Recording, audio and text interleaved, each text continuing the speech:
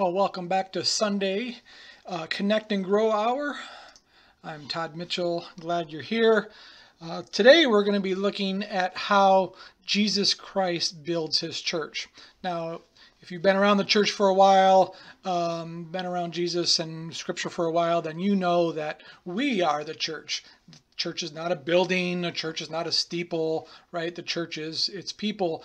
Um, but we're going to talk today. We're going to talk about how God uses the corporate church or the the main body of church uh, of the church. How uh, God builds that church why he builds it, and then what we do within the church. That's kind of what we're going to be talking about today. So the church is built up um, by how the Holy Spirit uses believers to encourage other believers and how the Holy Spirit guides all of us to reach people outside of the church for Jesus Christ. In the church, in the church body as we know it, um, mature believers encourage each other. Um, we help each other. We um, build each other up. We care for each other. Um, we help each other become um, more uh, involved in who Jesus is, uh, understanding who Jesus is, um, those types of things. But then we encourage new believers. We go out and we teach new believers. We reach new believers uh, beyond the church walls and we tell others about the good of Jesus Christ. Now, this is just not the pastor.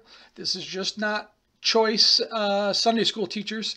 This is not just the evangelism crew. This is all of our responsibility. We all need to reach other others for Jesus Christ. We encourage each other within the church, and then we go outside of the walls of the church and we um, we tell others about who Jesus uh, Christ is. Um, so we within the church we we help each other grow and follow Jesus so that we become more like Jesus every day. We do that through our generosity, through helping each other's uh, needs. We mentor each other. We hold each other accountable. We help each other. And then when the church lives together in these ways, it can provide a powerful witness to an unbelieving world.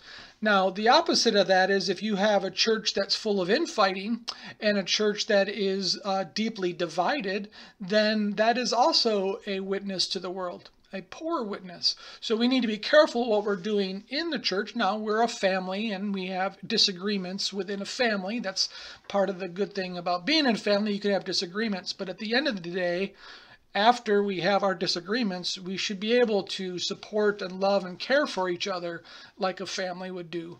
And that should be the witness to the world that, hey, look at, they may argue over there, but they do care for each other and they care for each other because of what Jesus Christ did to them, for them. So in this session, we'll consider how those of us who belong to the church should encourage each other in our faith within the church as well as spreading the news of Jesus Christ um, outside of the church so that everyone who uh, wants to know or needs to know can come into the full saving power of Jesus Christ. So this week we're going to look at Acts chapter 11. We're going to start in verse 19, and then we're going to read that pretty much through the end of the, the, the chapter there. So if you want to get your Bibles out and turn to Acts Acts chapter 11, starting at verse 19. Um, then we you could follow along and highlight and make notes in your Bible as you see fit. But first, let us pray. Heavenly Father, we thank you for who you are. We thank you for coming to earth and forgiving us of our sins. We thank you for providing for our every need and a lot of our wants. We thank you for putting uh, other believers in our life that we can encourage. We thank you for giving us the opportunity to encourage each other uh, and to reach the world for your purpose. Uh, we give you this lesson in your beautiful name. Amen. All right, so Acts chapter 11, starting in verse 19. Now, if you are um, looking at most Bibles, most Bibles will have a title here. Um, it might be titled The Church at Antioch, or it might be the Church of Antioch, or the Church in Antioch. Regardless, we're talking about um, the church um, uh, in Antioch, and I'll show you where Antioch is in a second on a map. Uh, but regardless of where what your heading says in the Bible, it's an account of what believers did in spreading the word of Jesus Christ to fellow Jews and to Gentiles in what is now uh, northern Syria. Now, I believe there's two main reasons for this passage. Uh, in, in chapter 11, starting verse 19, there's two main reasons. One is to tell others about the great news of Jesus Christ. And then uh, part two is then we need to help and um, how we reach others. Um, I'm sorry. The first one is to tell others the great news of Jesus Christ. And then number two is how we encourage each other in Jesus and how we treat each other um, as fellow believers. All right, so the city of Antioch at the time was the third largest city in the Roman Empire. Now this is going to be very important in a, in a little bit when I explain, I'll explain why in a little bit. So keep that in mind. The city of Antioch, where um, this is taking place, is the third largest city in the Roman Empire. It is the largest city in the Roman Empire in Syria. So um, in Syria, the country of Syria, this is the largest Roman Empire city, um, third largest in the Roman Empire. So that's really important because that means all sorts of people are there. We see Jews, we see Greeks, we see Gentiles, we see all sorts of people from all over the Roman Empire coming to this hub um, uh, to trade commerce and ideas and ideologies and that types of things. So um, the fact that that Christianity has reached this point um, means it's going to start to really uh, accelerate throughout the uh, Roman Empire, and that's really important because that's what we want to do, right? Is we want to reach the world for Jesus Christ. Okay, so uh, that means all sorts of people are gathering here, uh, and uh, people are going to start to see Jesus more clearly throughout the world. So let's take a look at where Antioch is on the map. All right, so this is the Mediterranean Sea. This is Cyprus. This is the country of Turkey, modern day Turkey. Here's Greece. Italy is over here. Uh, Jerusalem is way down here. This is uh, this is Egypt here. So this is uh, Africa, the top of the African continent here. So Jerusalem, and then Antioch is right here. It's not there anymore. It's there's ruins there. There's other cities around it, but this is where Antioch would be. Now, if you can notice this little inlet here into Turkey, that would have been a nice um, harbor, safe harbor from any of the the um, uh, storms that would have raged in, in, the Mediterranean Sea. Now, this is the island of Cyprus, and I'll talk about uh, Cyprus in a little bit and who came from there. It's going to be um, pretty relevant in a minute. Okay, so let's take a look at the scriptures this morning, uh, starting Acts 11, starting at verse 19. Now, those who had been scattered by the persecution that broke out when Stephen was killed traveled as far as Phoenicia, Cyprus, and Antioch, spreading the word only among the Jews. Some of them, however, men from Cyprus and Cyrene, went to Antioch and began also to speak to Greeks, telling them the good news about the Lord Jesus. The Lord's hand was with them, and a great number of people believed and turned to the Lord. All right, back to me.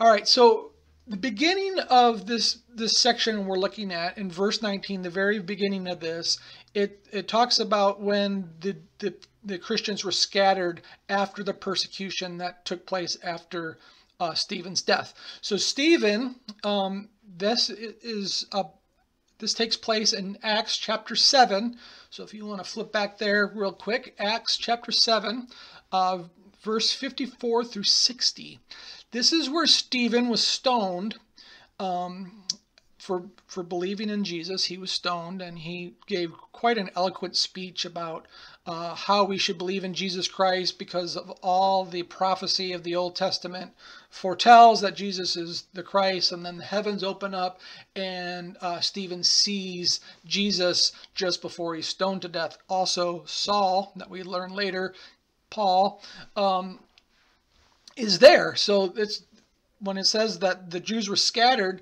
after the persecution that broke out um, in Jerusalem. This is after after Stephen was stoned.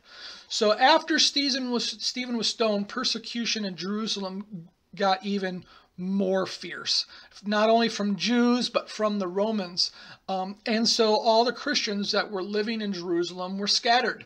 And the church needed to scatter so it could spread. It wouldn't have done the good news of Jesus Christ any good if it just stayed put, right? So God uh, created some of these uh, these persecutions so the Jews would get out of their comfort zone and go up into other places.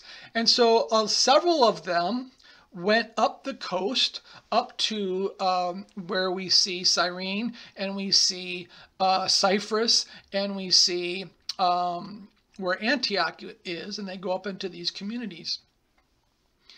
Um, now, many of these Christian Jews, or many of these Christians, they would have been Jewish. They were uh, not necessarily Jewish converts. They were what we would call completed Jews, right? Completed Jews is a Jew that follows all of their messianic uh, history, all of their Jewish heritage. They still followed a lot of their same Jewish laws and their Jewish customs. They were very Jewish. But now they were completed because they recognized that the Messiah, Jesus, had come. So when they scattered to the north, it would have been very natural for them to want to uh, go to communities that would have been uh, welcoming, that would have been familiar, that would have been comforting. So I think it was um, quite normal for them to go into the Jewish communities and settle there and to go into the Jewish activities and the Jewish synagogues and participate in the Jewish customs.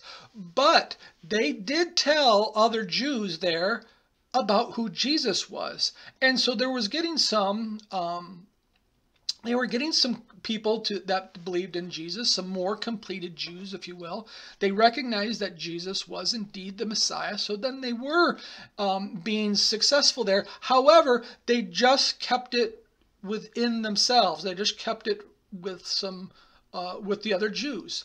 So when they entered these cities, um, it was natural for them to want to stay together, and um, but they still they still preach the good news to each other um, about who Jesus Christ was. Now, um, uh, I'm kind of lost myself in my notes as usual. Let me see if I can. Okay, so um, so two things I think we can get out of verse 19 is that that we we must share the good news of Jesus Christ with those that we're comfortable with, right? The, these these Christians, they left their Jewish homes in Jerusalem. They went up into these other cities and went to the Jewish sit, um, areas, and they were very comfortable there. And so we too, it's good to share and encourage each other in our comfort zone, right? I have my comfort zone, the people that I'm comfortable with, and it's good to encourage each other in those um, comfort zones, to remind uh, your friends and your relatives and, and so forth um, who Jesus Christ is. And we can go to them when we're feeling down. That's really important. Right? And we do that in the church. It's really important in the church, in the church body, when we meet together, that we can encourage each other. We tell each other about Jesus, like I'm telling you about Jesus right now but there's, there's another part of what we see in this section here is, is we need to go beyond our comfort zone. And so some men did go beyond, said right in the passage, some men, uh, probably their uh, significant others, their wives probably went with them too. Um, but it specifically says some men went, went and told um, others. Uh, it says, spread the, the news of Jesus Christ to non Jews, the Gentiles in the area. And that is where they started to see an explosion of growth. Right? So, yeah, they had uh, some. Um, probably had some success just amongst themselves, but they probably weren't going to grow. They were just talking the Jew Jewish um, community was not going to grow. They might have believed in Jesus Christ, but it wasn't going to expand. And in our church, we're not going to expand if we're just talking to each other about Jesus. If our goal is to reach the world for Jesus Christ, if our goal is to reach the lost for Jesus Christ, it's not going to do anybody else any good if we're just going to sit around talking about Jesus uh, in our church. It is going to do us each other good because we need to be encouraged that way, but we really have to go outside and we have to tell others. Just like as these these guys did, they went to Cyprus and Antioch and started to tell other people about Jesus. So I believe it says a lot for us as a church. We love our church. We love our, our certain groups that we gravitate to. Nothing wrong with that. I have my group of people that I like to hang out with. We build each other up. We encourage each other. We pray for each other. We make food for each other. But we cannot forget to spread the good news of Jesus Christ beyond these groups, beyond the church. Yes, it's super comfortable to talk about Jesus with our fellow believers but we have to move on beyond that. And I think many of us, when we read this, we're very comfortable talking about uh, who the Messiah is. And these people were very comfortable about talking about who the Messiah is to fellow Jews. But as we read further in the text, they had to go beyond them, beyond that, uh, and tell others about Jesus.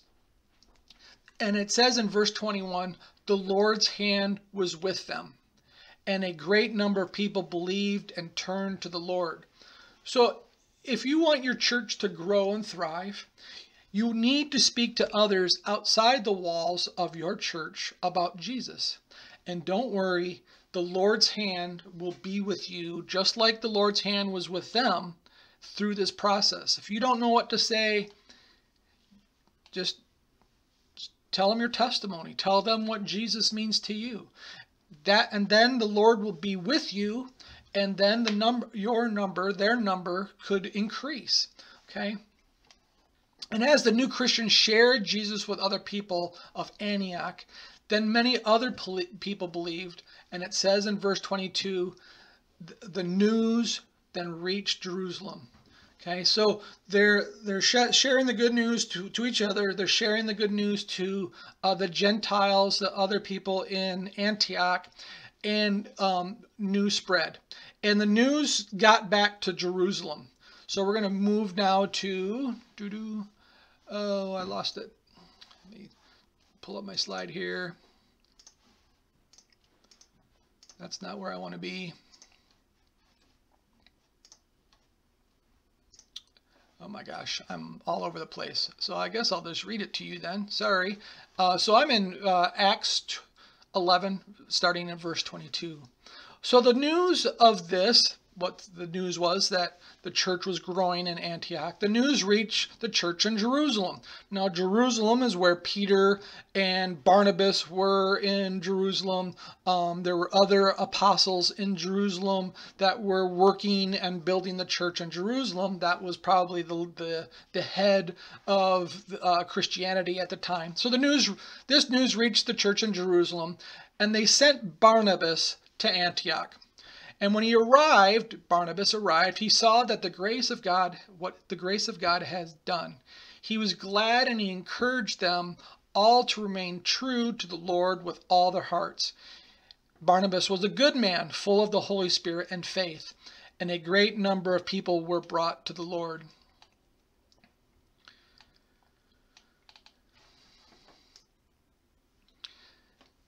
The believers in Antioch grew.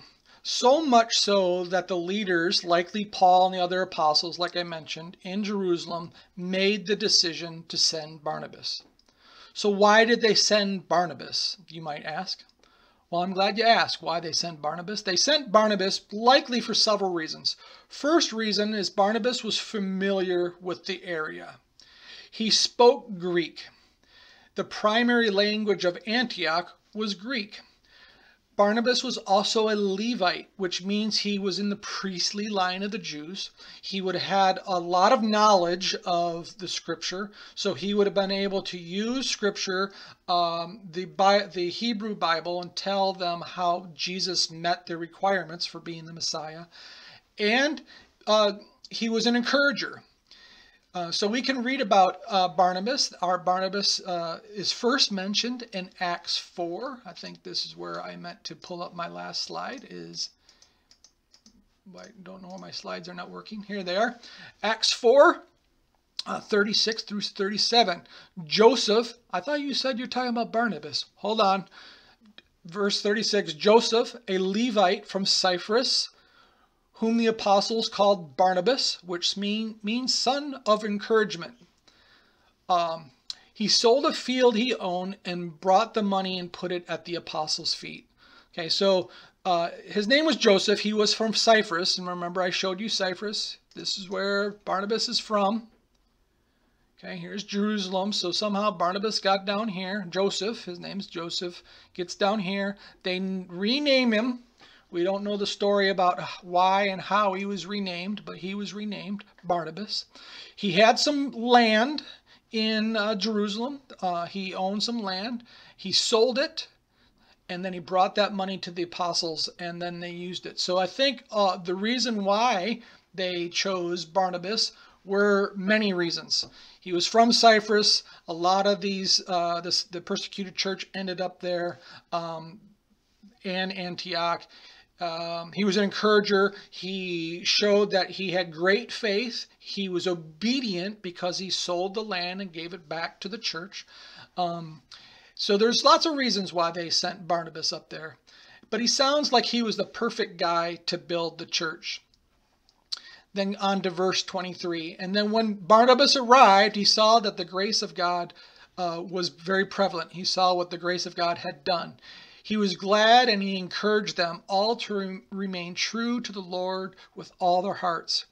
He was a good man, full of the Holy Spirit and faith, and a great number of people were brought to the Lord. So I think it's interesting. Um, uh, Luke is the one who wrote this.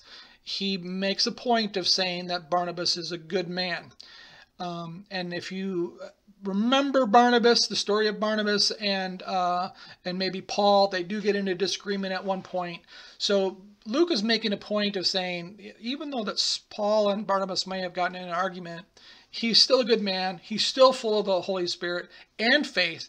And because he was a good man, full of the Holy Spirit and faith, a great number of people were brought to the Lord because he was an encourager, because he told them to remain uh, true to the Lord with all their hearts, and he was full of the Holy Spirit. These are uh, what caused a great number of people to come to the Lord. Oh, my slides just goofed up on me again. So why were a great number of people brought to the Lord? Well, the scripture says that he encouraged them to remain true to the Lord with all of their hearts. He was a good man, full of the Holy Spirit and faith. So why are people coming to the Lord? There, these are th three main, four main things. He told them to remain true to the Lord with all of their hearts. So part of that is not thinking about other things. He was a good man, so he was a good example. He was full of the Holy Spirit, so he wasn't just relying on doing this himself. He had the Holy Spirit uh, working in him and that, that he had faith. So I wonder what Barnabas would say to us. If he would come to our church and say, well, how would he encourage us? It's great to have an encourager, but what what would he do? And I believe he would tell us that. I think he would tell us to remain true to the Lord with all of their hearts. Don't worry about this other stuff. Don't worry about COVID. Don't worry about this. Don't worry about who's president. Don't worry about who's governor. Don't worry, don't worry, don't worry. Remain true to the Lord. Trust in the Lord with all your heart and lean not on your own understanding. Right? I believe Barnabas would have held on to that and told people about that. He would tell, tell us to stay focused on the Lord Jesus Christ in all that we do, in all that we do. So everything that you're doing throughout your day, stay focused on Jesus. He was a good man, so his example of what, how he presented himself, he was a man of integrity. His yes was yes, his no was no. He wasn't off doing goofy things.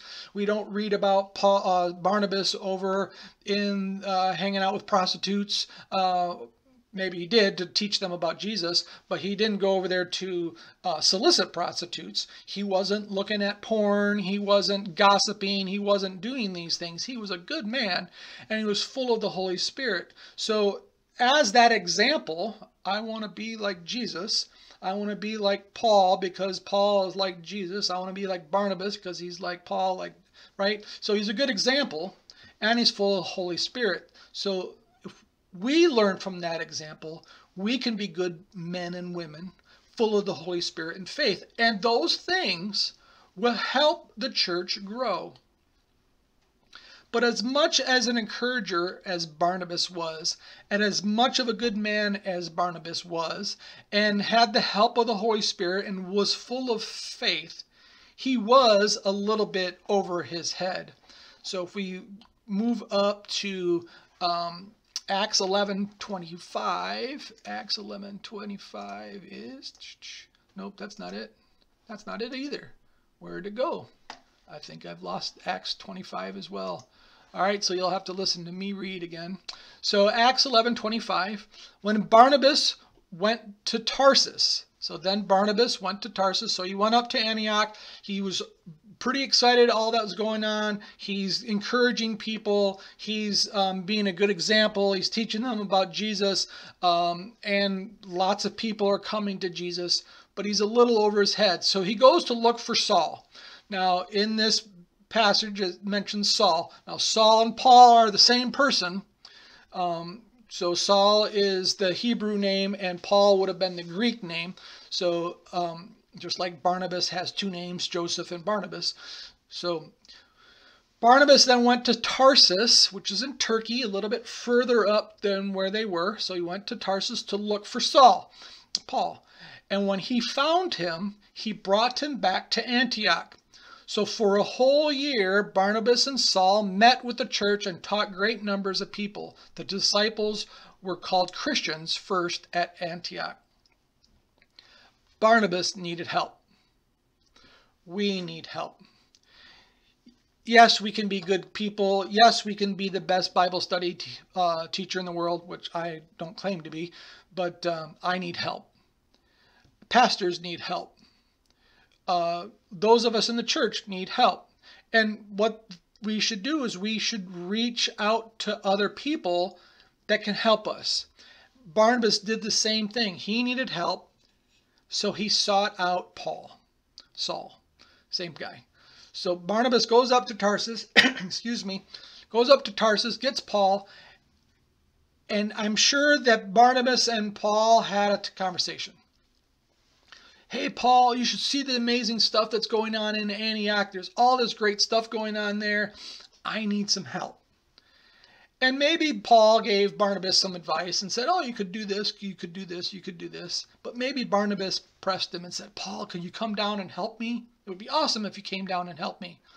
So Paul comes down to uh, Antioch from uh, Tarsus, which is a little higher up, like I said, in, in Turkey there. Comes down to Antioch, and they both stay in Antioch for one year. And they're teaching in Antioch for a year. Uh, they're teaching other um, Jews how to be more Christ like. They're teaching Gentiles to be uh, Christ followers. Um, they're doing all of this so much so that they started to become Christians. As always, when I want to know the etymology of a word, or the, the root of a word, um, in, especially in Hebrew or in Greek, I will turn to my favorite theologian, who happens to be Sean Mitchell, my son. And I said to him, hey, what is um, the meaning of this word, uh, the root word here in Greek? I could look it up, but it's always fun to talk to my son, uh, who says hi, by the way. Um, so he says, well, uh, literally, the translation is follow follower of the anointed one. It is Greek, Christian. The word Christ, Christ uh, or Christianos is Greek. They were in Antioch, very influenced by the Greeks. Uh, comes from the Greek word Christos, meaning the anointed one. So a, a Christian would be a uh, uh follower follower of the anointed one or follower of Christ. Now, the adjective, verb, whatever, ending borrowed from Latin to note to denote adhering to or even belonging to as in slave ownership. Now, I think that's really in, interesting. This this idea that um, a follower of Christ, a Christian, is a follower of the Anointed One, but following so much so that is almost like a slave. Now, we don't like being called slaves, but I think that's going to be uh, interesting here. Uh, we belong to Jesus Christ. Now, these people in Antioch were following Jesus Christ so much that they almost wouldn't do anything without Jesus' permission. They were obligated, they felt obligated to follow Jesus. Just like a slave would be obligated to follow his master, a slave wouldn't do anything without a master's permission. A slave does things because the the slave owner tells them to. Now we're not slaves, we're not chained up in slaves, but the point here is our lives should be so ordered that the things that we do, we should consult Jesus. Which is Jesus, should I spend my money here? Jesus, should I watch this TV show? Should I read this? Should I do the We should be so in tune with Jesus that we know what what would be required. Not because we have to, but because we want to, because we know some of this other stuff is not good for us. So Christ followers following the anointed one, so much so that we can't really do anything without wanting to ask for permission. We want to order our lives in a way that would be pleasing to Jesus because ultimately that's what we want to do. We want to become more like Christ. They were first called Christians there in Antioch because people realized that they were different. Not that they were just walking around mindless, like, oh, I have to ask Jesus what to do, but something about them was different. Something about them is they're not going to these uh, the shrine prostitutes. They weren't, you know, getting over. They weren't getting drunk. They weren't doing things that they shouldn't be doing. But what else, what about them? What else was being different? There must have been something. So people that are with Jesus, they're different. And that's why people started to, to call them Christians. Do people realize that I'm different?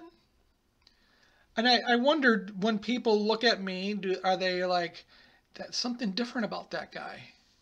He, he seems different, like maybe he, I don't, I can't put my finger on it maybe you know somebody like that, or maybe you are that somebody that when you when people come up to you they're like they're different because they're around you. They want to be different people because they are they're around you right? I, there's a friend of mine a good friend of mine. I'm like a better person when i'm around him. And why am i a better person when i'm around him? Because he he's with jesus all the time and that's what I want to be like. I want to be not like my friend. I'm, he's cool and all, but I want to be like Jesus. That's that's the different thing. So these Christians are different. They're change people. They are people that other people want to hang out with they're noticeably different in a good way. Not just because they're telling people, oh, you shouldn't drink that, or no, you shouldn't do that. That's no, they're just going about their lives and they're ordering their lives after the pattern of Jesus.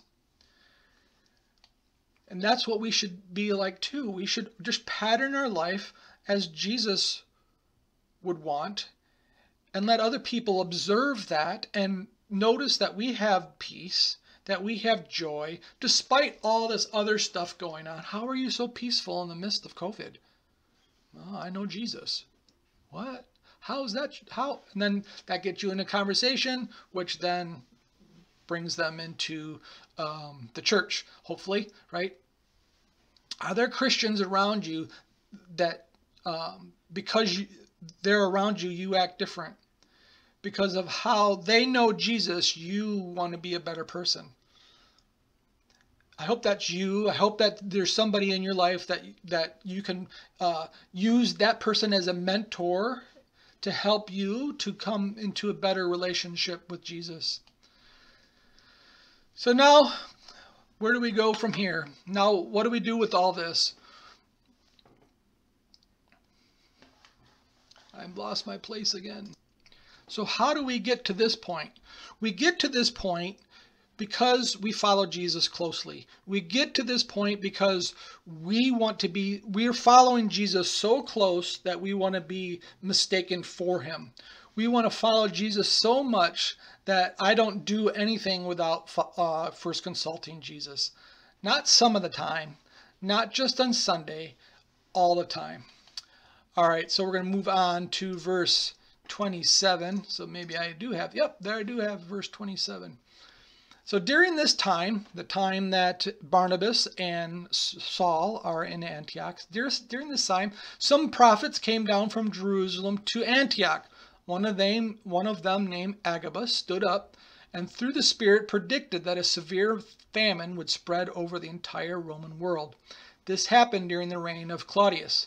The disciples, each one was as each one was able, decided to provide help for brothers and sisters living in Judea this they did by sending their, their gift to the elders by Barnabas and Saul. All right, so what's going on here?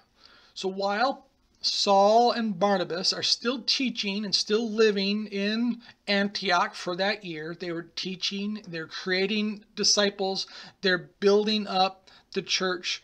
Now, some prophets came, it says, comes down from uh, Jerusalem. Actually, Jerusalem's to the south, so technically they would be moving up. What they mean by come down, like coming down the chain of command, coming down the chain of command from Jerusalem, the center of Christianity, to Antioch to deliver this word to them. Now it's interesting in this section that a group of prophets were together, and that's how prophets should uh, operate. They should be in community. There should be uh, in communication with other prophets so that they can make sure what they are saying is without error. Because if a prophet is uh, out on their own doing their own thing, uh, they could get into error and saying some pretty goofy things.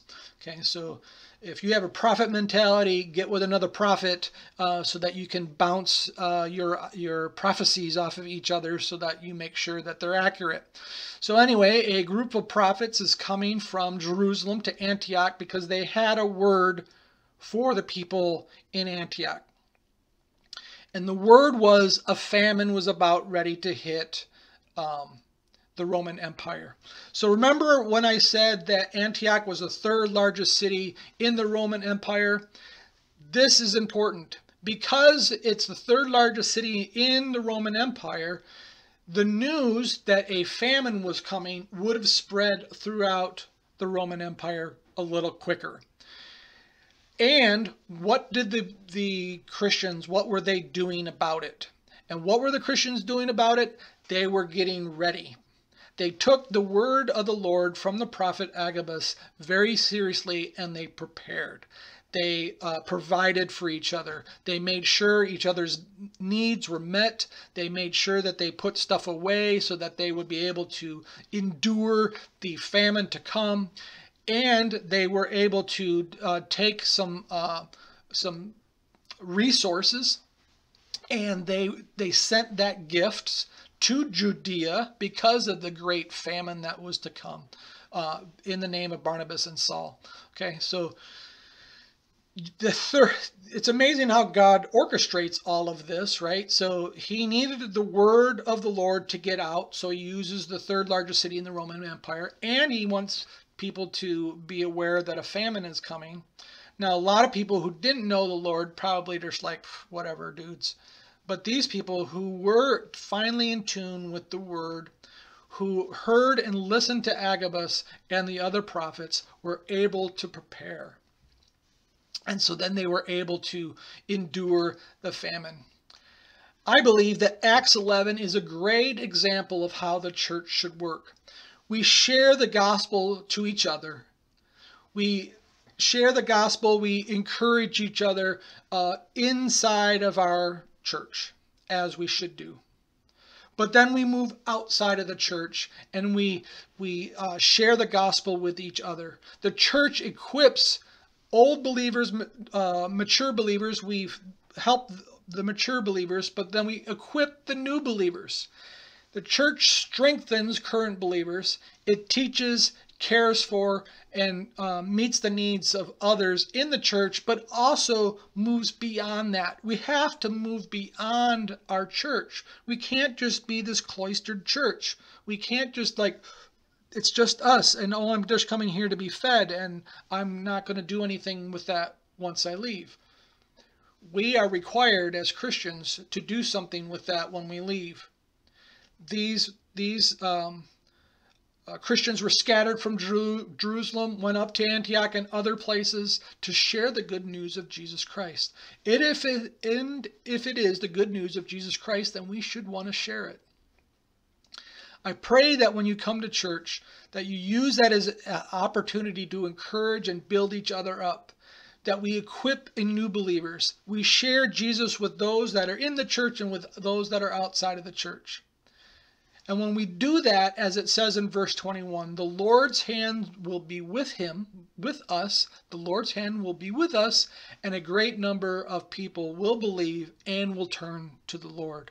I, I believe that this is a great lesson for us today. I hope you uh, got something out of this. But let's pray, and uh, then we can go from here. Heavenly Father, we thank you for your example, the church of Antioch. Help us to encourage each other within the church, but then to move outside of the church, knowing that your hand will be with us. Help us to be good men and women using the Holy Spirit and our great faith so that others can come to know who you are and um, see that we are different, not because of what we don't do, but, but but because of what we do do. We love you, Lord, and we want others to love you too. We thank you in your name. Amen. All right, guys, be good.